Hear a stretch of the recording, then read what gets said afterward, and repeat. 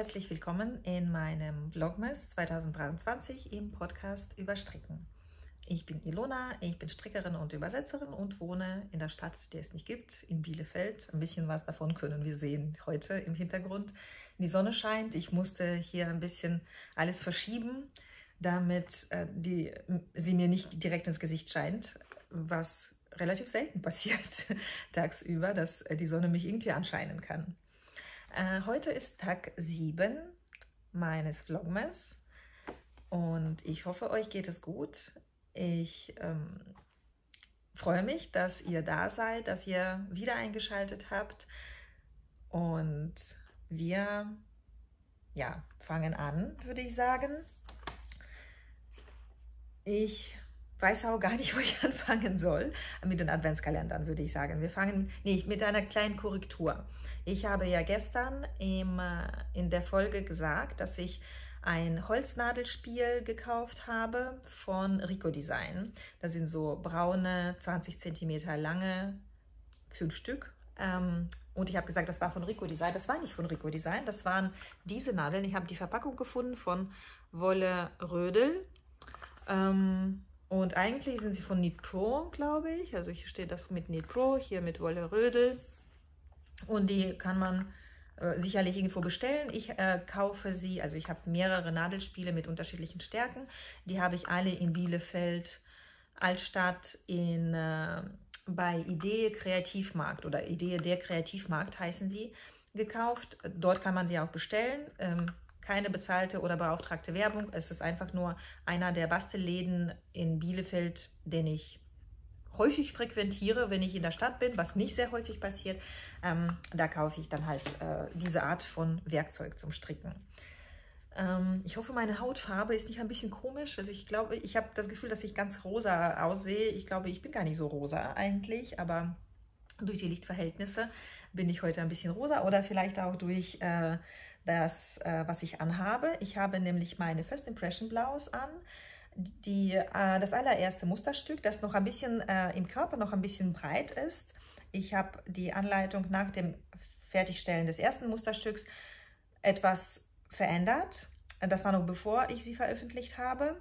Und die veröffentlichte Anleitung für die First Impression Blouse, äh, also die mit Lace-Streifen, äh, ist schon, also zumindest mein Exemplar passte mir etwas besser, also nicht ganz so breit wie dieses hier, wobei das ist auch nicht, nicht besonders breit, das ist halt eine äh, lässige, ein lässiger Pullover. Äh, und gestrickt ist diese Version aus äh, dem Merino Leinenmix, einem Single Garn, pflanzlich gefärbt mit Avocado von das Strickzimmer. Das äh, findet ihr alles auf Ravelry, wo äh, man die Anleitung auch kaufen kann. Man kann sie aber auch auf Etsy kaufen, wenn man zum Beispiel ähm, über PayPal, nee, also irgendwie, wenn man auf Ravelry kauft, kann man nicht mit jeder Zahlungsmethode zahlen. Falls es Schwierigkeiten geben sollte, man kann die Anleitung auch auf Etsy kaufen, beziehungsweise auch auf Lovecrafts und ähm, wenn das alles nicht klappen sollte oder bevor man äh, zu lange rumprobiert, gerne auch mich per E-Mail anschreiben, dann geht, kann, kann ich die Anleitung auch direkt verkaufen und als PDF zuschicken. Die Adventskalender. Ich glaube, die Sonne scheint immer mehr ins Zimmer und ich kann, ich habe da keine Jalousien, äh, die wurden abgenommen, weil sie nicht funktionierten. Und jetzt ist äh, zwar sehr hell, was schön ist, aber ich glaube, ich werde immer rosaner. Ich hoffe, das funktioniert trotzdem. Es ist halt so, wie es ist. Wir versuchen es mal so. Ich hoffe, das ist in Ordnung für euch, dass ich so rosafarben bin. Der erste Adventskalender, den wir wieder zusammen auspacken, ist der von Sakami Jans. Ich habe übrigens auf äh, Anraten einer von euch alle Adventskalender in der Beschreibung hier unter dem Video aufgeführt, damit ihr, das wird immer schlimmer hier mit dem Licht, glaube ich. Ich äh, muss mal hier ein bisschen umsortieren. Ich habe mich jetzt einfach umgesetzt auf meine Couch, die ja auch weltberühmt ist und in meinem Podcast häufiger zu sehen war. Und jetzt äh, machen wir weiter mit äh, Sakami Adventskalender. Das ist eine schöne Färbung von Sakami. Die wird sehr gut passen zu dem, was ich daraus stricke. Ich freue mich sehr und ich zeige auch wie weit ich gekommen bin. Ich stricke ja daraus, wie ihr alle mittlerweile wisst, sicherlich den Desperate Housewife Cardigan von Melanie Berg. Ähm, natürlich bin ich mitten in einer Reihe. So, so weit bin ich. Ich bin mittlerweile bei dem sechsten Ministrang. Ähm, ja, ich finde die Farben, die äh, Kombination wirklich super. Ja, ich muss echt sagen, ich bin total glücklich darüber, dass ich mich dafür entschieden habe als Hauptfarbe, die ich ja so an den Rändern quasi und immer als äh, so eine Zwischenschicht verstricke.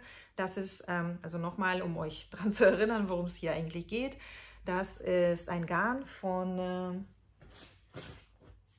äh, äh, Rennie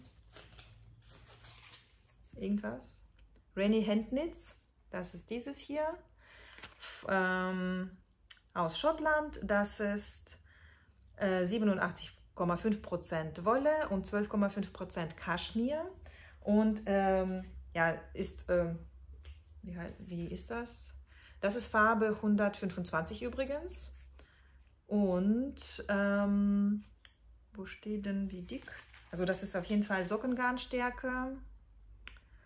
215 Meter auf 50 Gramm. Äh, gekauft habe ich das bei Wolle Willig vor zwei Jahren, anderthalb Jahren ungefähr. Äh, Wolle Willig gibt es aber immer noch. Ähm, ich habe mit Elisabeth heute noch geschrieben und sie gefragt, ob sie denn überhaupt diese Wolle noch hat. Und sie hat mir bestätigt, sie hat die Wolle noch. Also falls jemand Interesse haben sollte, die gibt es dort zu kaufen. Das, also für mich ist das wirklich sehr weich. Ähm, und die Wolle wird auch noch weicher nach dem Waschen, plustert sich auch etwas auf. So, und, und also für mich ist so etwas ganz leicht rustikale oder griffige Wolle viel angenehmer zu verstricken als zum Beispiel reine Superwash Merino Wolle. Also für euch, diejenigen, die so das natürliche Gefühl bei der Wolle, beim Stricken mögen, ist das eine gute Wolle. Und bei Elisabeth, bei Wolle Willig, gibt es noch die Super Soft. Das ist, glaube ich, reine Shetland-Wolle oder reine Wolle zumindest. Und dann gibt es noch die dritte Qualität. Sie hat gesagt, sie hat drei verschiedene Qualitäten. Also ähm, gerne schauen. Ähm, genau, das ist also meine Hauptfarbe und ich äh, ja, mache einfach nur Streifen und äh, eine Rundpasse ist das. Und ja, mehr dazu gibt es eigentlich nicht. Ich äh, folge sklavisch der Anleitung und bin bisher auch sehr zufrieden. Die Anleitung ist leicht zu befolgen, ist, ähm, äh, ja, Melanie Berg ist eigentlich eine ähm, Tuchdesignerin lange gewesen und jetzt hat sie offensichtlich angefangen, auch so Kleidungsstücke zu designen und ich finde, das ist ein sehr schönes Design und ähm, sehr leicht zu stricken. Äh, eine interessante Verteilung von ähm, ähm, wie heißt das, Rundpassen Zunahmen ist das, war für mich neu, also ist nicht gleich verteilt das Ganze, was aber jetzt nicht störend ist. Man muss zwar ein bisschen sich konzentrieren, damit man die richtige Anzahl an richtigen Stellen zunehmen kann, aber das ist alles machbar und das, das Ergebnis entschädigt mich auf jeden Fall für jede Zellarbeit. Ja, man sieht auch so dieses handgefärbte hier, diese Übergänge, dass das nicht so nicht langweilig aussieht und nicht so monoton. Das, das liebe ich an, an handgefärbter Wolle. Genau, das ist, ähm, also ich bin gerade bei diesem Strang angelangt, an, bei diesem Mini-Strang. Dann habe ich noch den nächsten, das ist dieser hier. Und der übernächste wird dann der von heute. Das wird das. Und das passt natürlich auch perfekt. Ja, also das, das wird sehr schön. Ich hoffe, die Form passt mir dann am Ende auch sehr gut. Noch kann ich nicht so gut anprobieren, aber das wird. Dann ähm, der Adventskalender von Olivia und Oliver Fibers. Das müsste, ja genau, das ist noch nicht ausgepackt, also es wird wieder laut. Okay, das ist auch schön. Leider auch nicht meine Farbe. Aber ich äh, bleibe noch glücklich darüber. Das ist eine Blackberry Tart, zu der ich hier ein Rezept bekomme. Auch sehr schön. Und ähm, die anderen, die ich bereits habe, ich versuche sie mal halbwegs oder ja, ich versuche sie mal. Ui, das wird jetzt immer schlimmer, glaube ich, mit jedem Tag.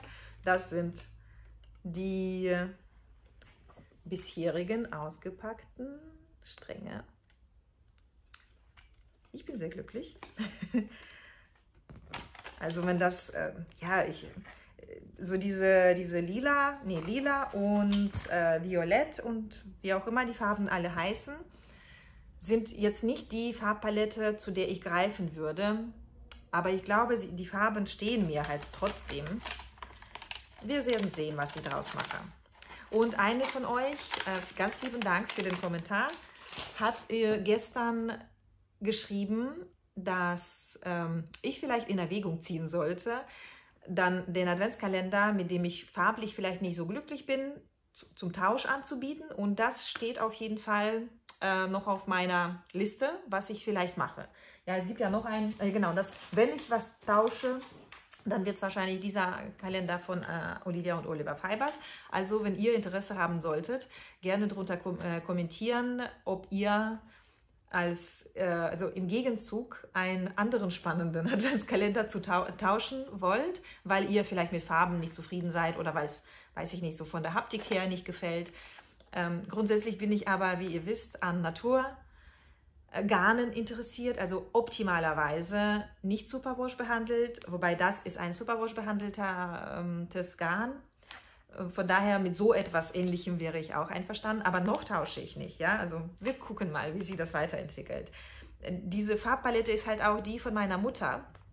Deswegen könnte es sein, dass ich etwas für sie stricke daraus. Ich gestikuliere zu viel, merke ich gerade. Okay, so äh, und der letzte Adventskalender, den Dalian and Dogwood.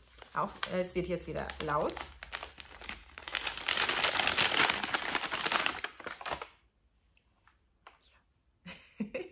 ähm, er hält sich auf jeden Fall in so rosa Tönen.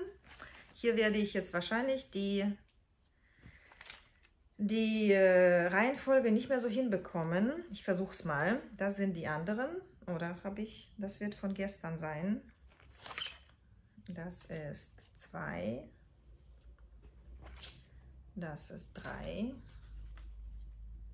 Oh, das ist, ne, 4. Ich habe 2, 4. 2 mal 4. Ne, 2, 3,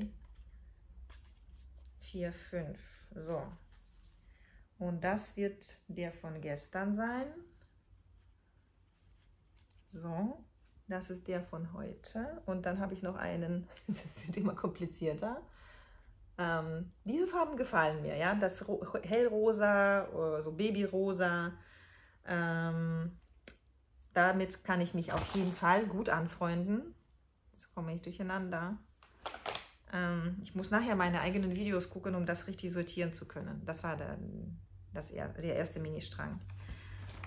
Ähm, mach mal, ich glaube, das war so.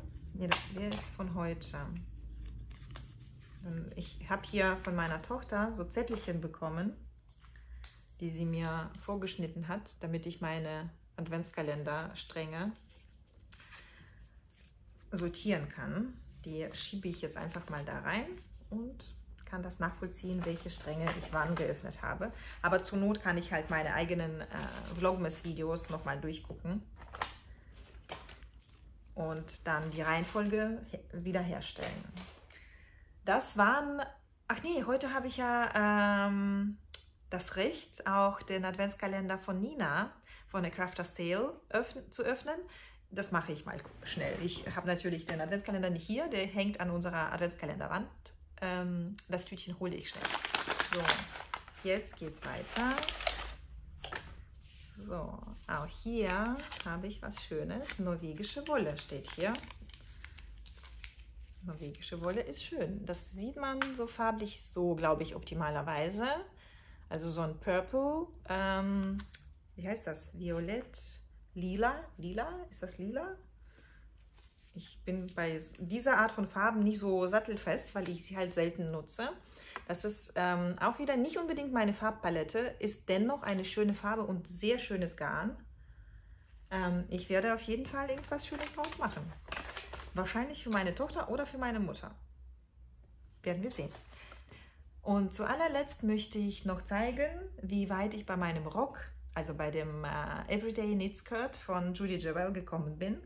Ich bin endlich fertig mit dem Bündchen. Das war eine, ja, ähm, eine etwas langwierige Angelegenheit, äh, das Bündchen so zu machen, wie ich es machen möchte. Dazu sage sag ich gleich was. So, ich bin nicht besonders weit gekommen. Ähm, also ich bin so weit.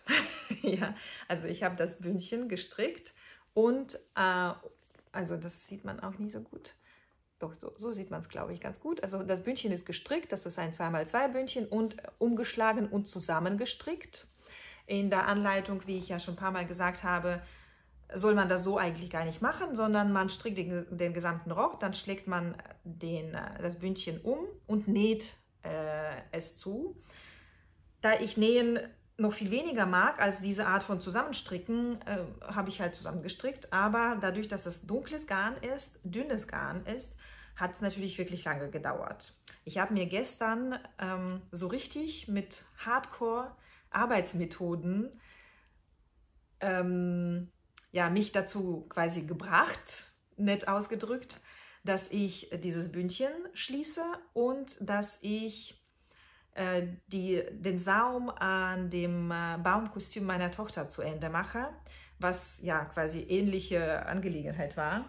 Ich habe mir einfach nur äh, den Wecker alle zehn Minuten gestellt, also ich habe mir zehn Minuten Wecker gestellt, den Saum gemacht. Als der Wecker geklingelt hat, weitere zehn Minuten gestellt und das hier gemacht.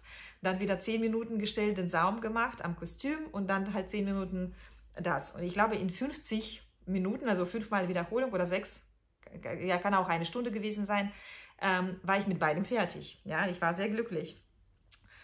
Ähm, ja, auf jeden Fall, das Bündchen ist äh, fertig. Ich habe eine Öffnung gelassen, wie eine von euch dankenswerterweise äh, ja, mir in den Kommentaren auch geschrieben hat. Ich meine, ich hätte das äh, wahrscheinlich im Kopf gehabt, aber einmal äh, daran erinnern schadet nie. Ja, ich habe hier auf jeden Fall das sieht man auch wieder nicht so gut. Ähm, also das Bündchen quasi geschlossen, das ist jetzt die Innenseite und hier eine kleine Öffnung gelassen, äh, um das Gummiband reinzuziehen. Ich habe, glaube ich, zu Hause irgendwo passendes Gummiband, aber noch nicht gesucht. Also ist der Rock quasi noch nicht äh, tragbar. Sowieso nicht. So, jetzt muss ich mal hier gucken. Ähm, ja, aber das Gummiband einzuziehen, das wird ja kein Problem sein. Das müsste auch von der Breite her mehr als ausreichend sein. Das ist, der Rock ist eher zu breit, aber ist nicht schlimm. Ja, äh, man zieht halt das Gummiband da ein und das wird schon. Ähm, genau, das war eine Modifikation, die ich gemacht habe. Dann habe ich noch zwei weitere Modifikationen am, äh, an der Anleitung gemacht. Das, die sieht man so nicht, aber ja, ich will halt meinen Druck zeigen, den ich die ganze Zeit äh, angekündigt habe. Sieht man nichts. Leider, also ist einfach zu dunkel. Das Garn nochmal vielleicht. Das Garn ist von äh, Quickstrick, eine deutsche Handwerberin, die aber in der Schweiz wohnt und färbt. Ähm, ja, sie hat auch einen Online-Shop, also falls ihr Interesse habt an dieser Art von Garn, gibt es in ihrem Shop. Und die zwei Modifikationen, die ich sonst noch gemacht habe, eine ist, ich stricke mit der dünneren Nadel als in der Anleitung angegeben. In der Anleitung strickt man den Rock, also den, quasi das, ähm, den Rock selbst, nicht das Bündchen, mit der 3,5 mm Nadel. Ich stricke mit der 3,25 mm, weil mir das Maschenbild so besser gefällt. Und deswegen ist meine, also die Anzahl der Runden pro 10 cm bei mir auch mehr als in der Maschenprobe angegeben. Und in der Anleitung ist auch eine bestimmte Anzahl von Runden angegeben, die zwischen den Zunahmen am Rock gestrickt werden müssen. Und dadurch, dass meine Maschenprobe halt äh, ja, mehr Runden beinhaltet auf 10 cm, stricke ich eine Runde zwischen den Zunahmen mehr als in der Anleitung angegeben, damit der Rock bei mir nicht zu breit, also nicht zu schnell zu breit wird, sondern halt ungefähr so schnell so breit wird, wie in der Anleitung angegeben, wie angedacht. Ja, ich hoffe, das ist klar, wie ich es meine. Falls nicht, bitte drunter schreiben, dann versuche ich es beim nächsten Mal besser zu erklären.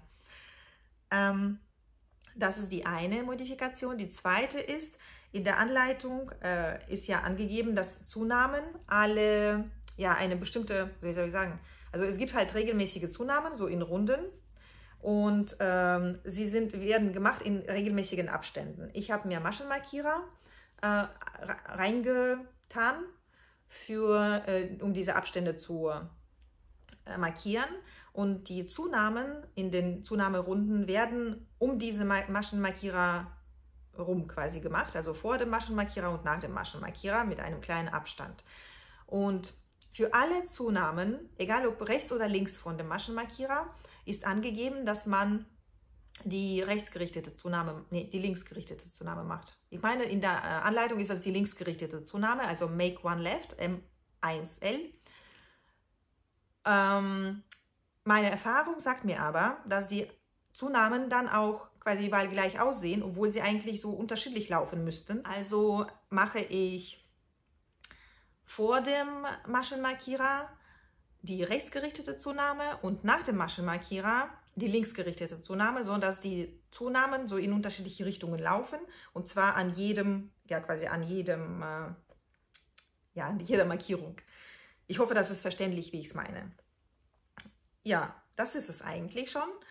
Ähm, jetzt bleibt mir nichts anderes übrig, als einfach nur weiter glatt rechts zu stricken, ab und zu mal Zunahmen zu machen und zu hoffen, dass ich irgendwann fertig bin mit dem Rock.